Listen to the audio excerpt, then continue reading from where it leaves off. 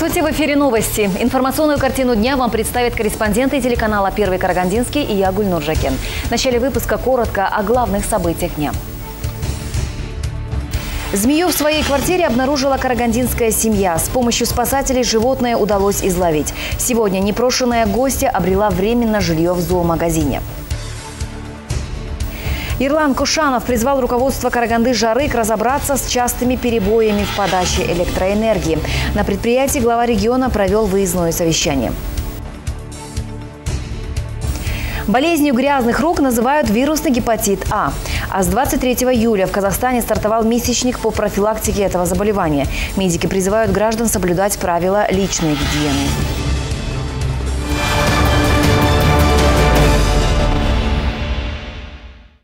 Обо всем более подробно. Змею в своей квартире обнаружила карагандинская семья. С помощью спасателей животное удалось изловить. Сегодня непрошенная гостья обрела временно жилье в зоомагазине. Все подробности этой истории в репортаже наших корреспондентов.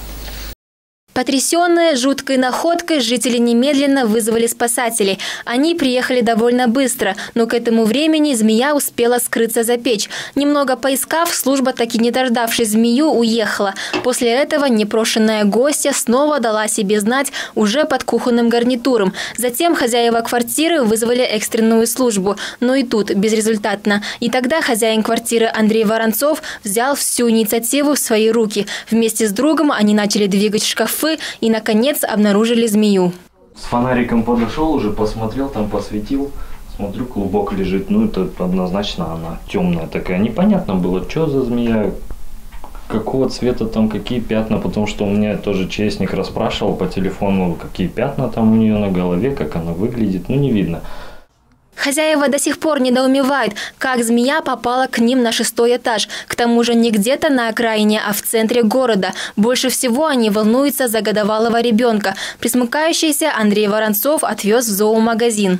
Мы ее посадили в трехлитровую банку и решили узнать, что за эта змея, откуда она взялась. Может, это э, какая-то, как сказать, породистая змея, может, она у кого-то здесь в террариуме жила и к нам уползла.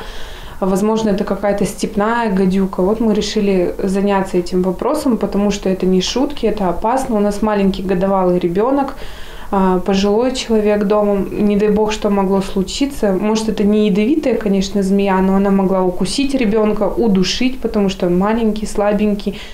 В свою очередь, сотрудники зоомагазина уверяют, что это безобидный полос. Как говорят зоологи, змеи не поднимаются наверх, они только спускаются сверху. Возможно, она заползла от соседей. К слову, в Караганде это явление нередкое.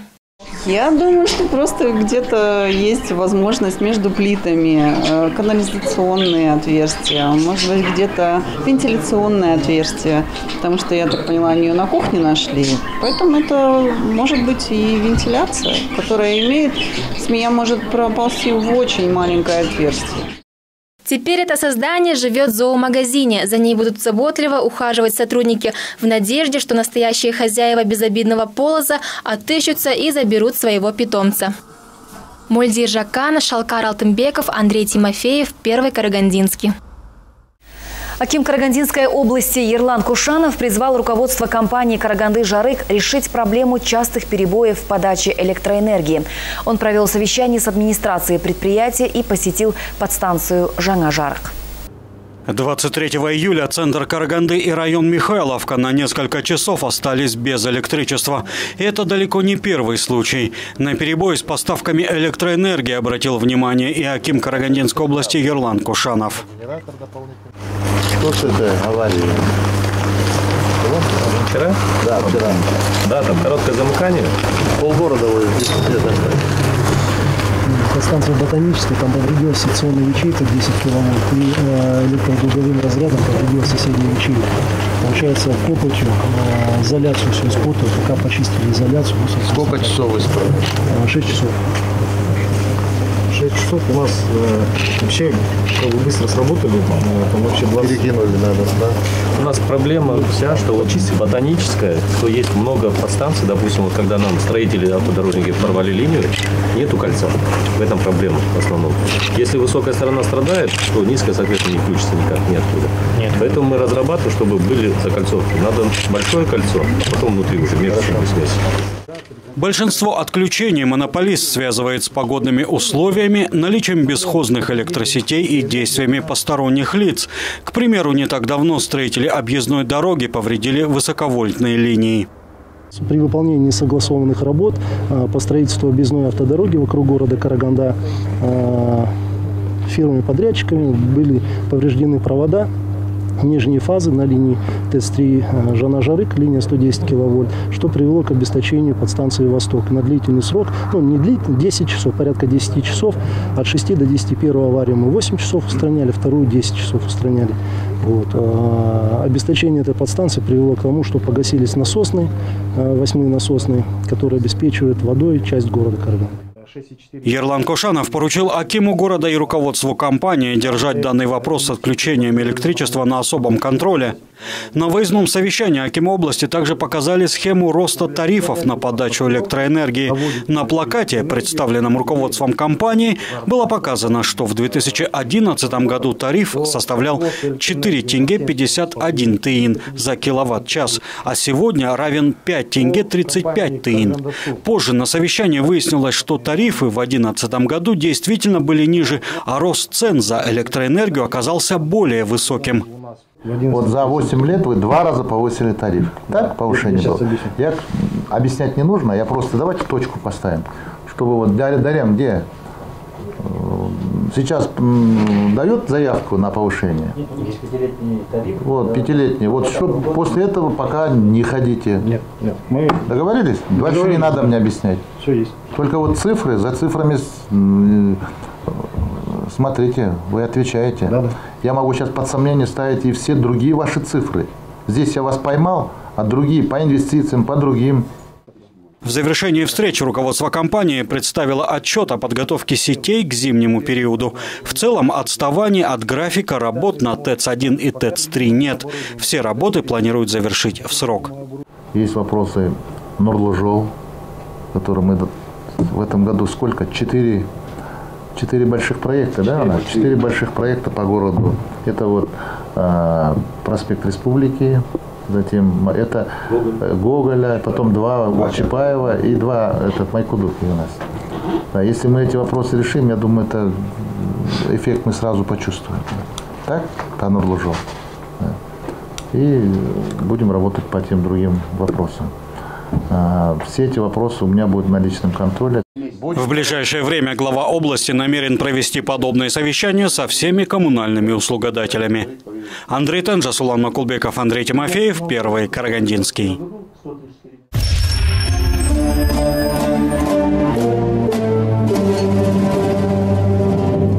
В некотором царстве жили король и королева. Росли у них три дочери принцессы. И вот однажды злая колдунья предвещала, что принцессы заболеют инфекцией. Но король с королевой узнали, что волшебная вакцина спасет их детей, и они никогда больше не заболеют. Завтра я поведу вас на прививку. А теперь пора спать. Подготовлено Национальным центром проблем формирования здорового образа жизни Министерства здравоохранения Республики Казахстан.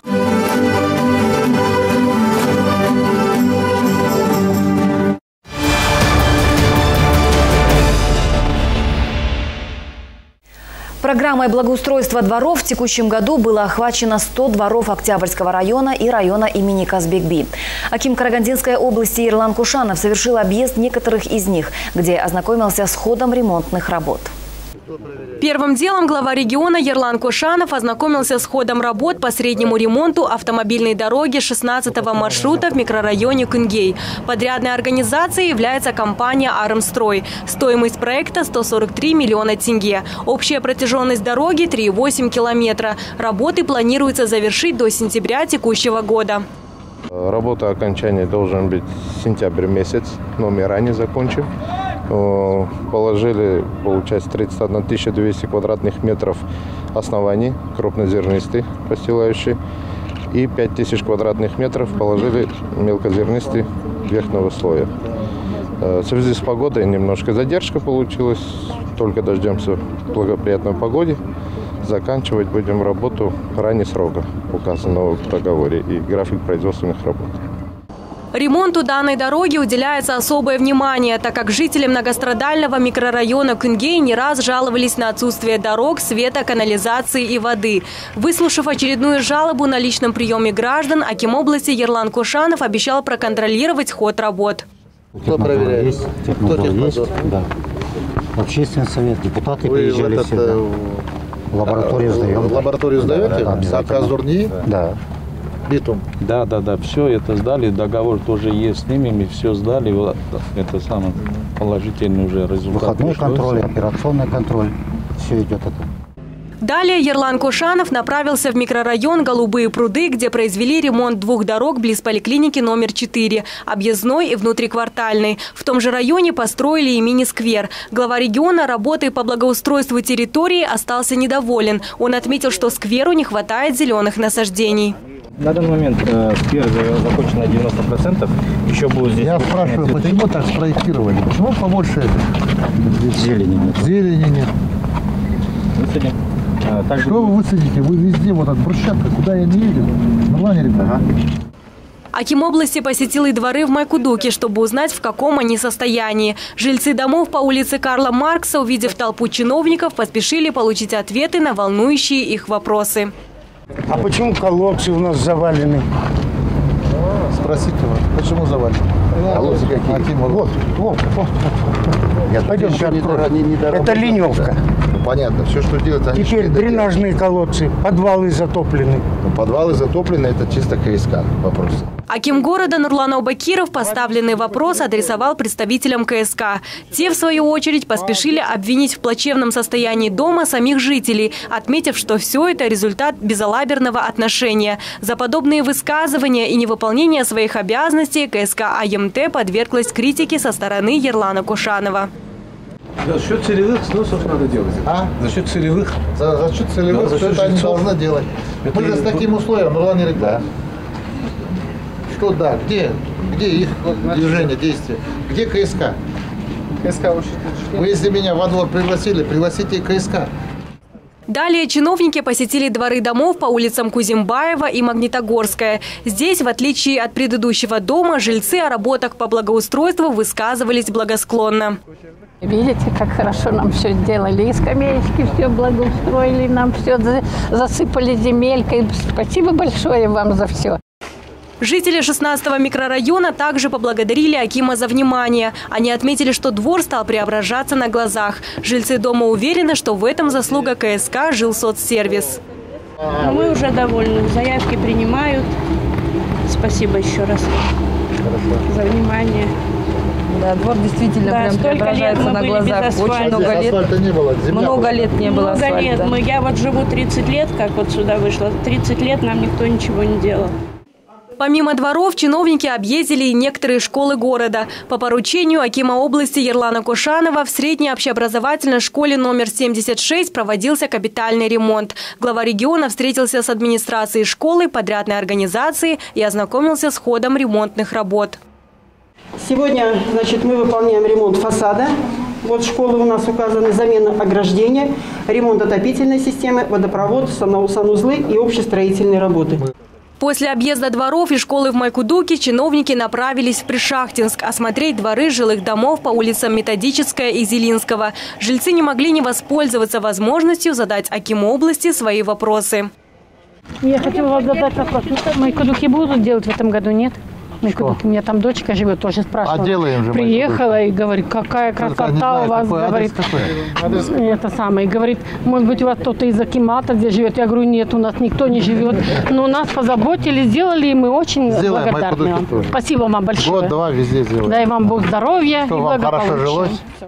Ерлан Кушанов пообещал жителям, что в течение двух лет практически все дворы в Караганде будут благоустроены. По некоторым данным, всего в городе имеется более 300 неблагоустроенных дворов. В текущем году планируется закончить работы в 100 дворах. В следующие два года чиновники намерены навести порядок еще в 200 дворовых территориях. Глава региона отметил, что несмотря на выделяемые из бюджета деньги, карагандинцы должны сами отнестись к вопросу благоустройства с должным вниманием. Ведь за порядок вокруг должны отвечать не только чиновники, чиновники, но и горожане. Тохжан Лянова, Жаслан Макулбеков, Андрей Тимофеев, Первый Карагандинский. К другим новостям. С 23 июля в Казахстане проходит месячник по профилактике вирусного гепатита. В эти дни в лечебных учреждениях области проводятся дни открытых дверей, проводится прием профильных специалистов. Болезнь грязных рук. Именно так медики называют вирусный гепатит А. И действительно, этой болезнью можно заразиться, если не соблюдать правила личной и общественной гигиены. Достаточно вспомнить вспышку гепатита А, которая отмечалась в Караганде в январе нынешнего года. Одной из причин заражения стал домашний компот. Как правило, чаще всего ранние симптомы гепатита протекают, как у всех инфекционных заболеваний, то есть недомогание, тошнота, рвота, повышение температуры, боли в желудке. И лишь когда нарастает желтушность кожи, потемнение мочи, обесвечивание кала, тогда уже дается предположительный случай, что это именно гепатит. Вирусологически этот гепатит мы диагностируем вот. Наличие, значит, ИФА-диагностики, наличие именно маркера гепатита позволяет нам поставить уже подтвердить этот диагноз. На протяжении месяца медики намерены проводить мероприятия, направленные на повышение информированности взрослого и детского населения о мерах по предупреждению заражения вирусными гепатитами. Одна из главных мер – соблюдение правил гигиены. Ну, профилактика – одна из основных правил – это соблюдение, еще раз говорю, правил личной гигиены, употребление в пищу а, употребление в продуктов, проверенных продуктов, воды, кипяченой воды, бутылированной воды. Вот. А, антисанитария, конечно, является одним из главных факторов причины всех наших инфекционных гепатитов и зачастую тоже гепатита А. В период месячника особое внимание уделяется и профилактическим осмотрам на рабочих местах, а также прохождению скрининговых обследований целевых групп взрослого населения. Андрей Теншел, Карл Тенбеков, Андрей Тимофеев, Первый Карагандинский. Деятельность музеев органов внутренних дел обсудили на специальном совещании музейных работников. В Тимиртауском историко-культурном центре первого президента говорили о роли музеев в реализации программы «Туганжер» и формированию патриотизма сотрудников полиции. Музейная работа в полиции является важнейшим звеном в патриотическом воспитании сотрудников органов внутренних дел и военнослужащих Национальной гвардии. Об этом в своем приветственном слове говорил заместитель начальника департамента внутренних дел Карагандинской области Ардах Антекпаев. Республиканский семинар работников музеев ОВД провели в Тимиртау в историко-культурном центре первого президента. С гордостью отмечу, что в этом году, э, в этом городе в 1960 году начинал свой трудовой деятельный путь первый президент нашего государства, лидер нации Рустамович Назарбаев.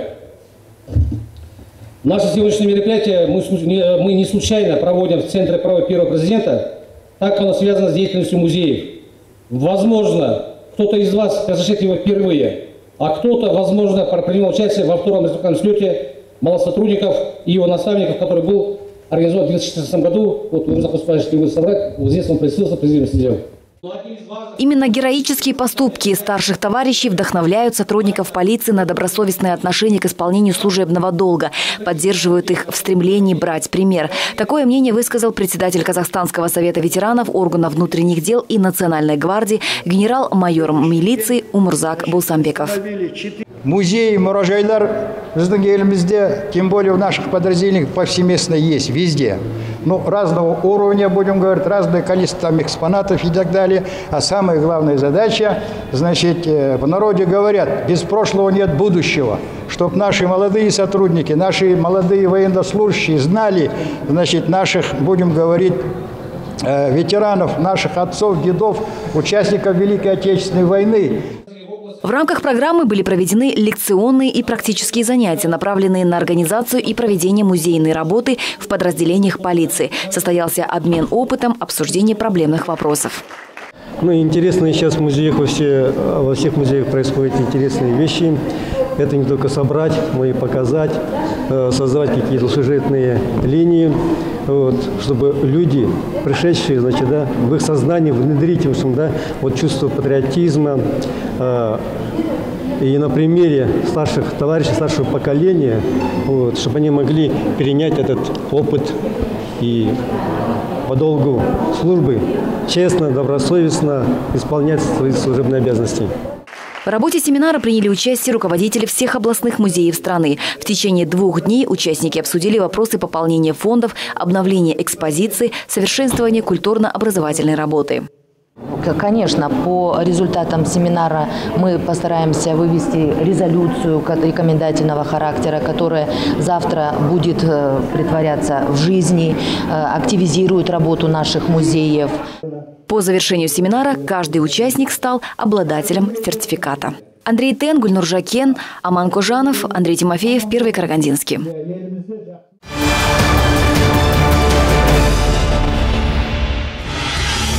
О новостях на сегодня все. Спасибо за внимание. Если у вас есть интересная информация, звоните нам по телефону 42 06 49 и смотрите наши новости на сайте канала. Всего доброго. Аман Саубалмстар.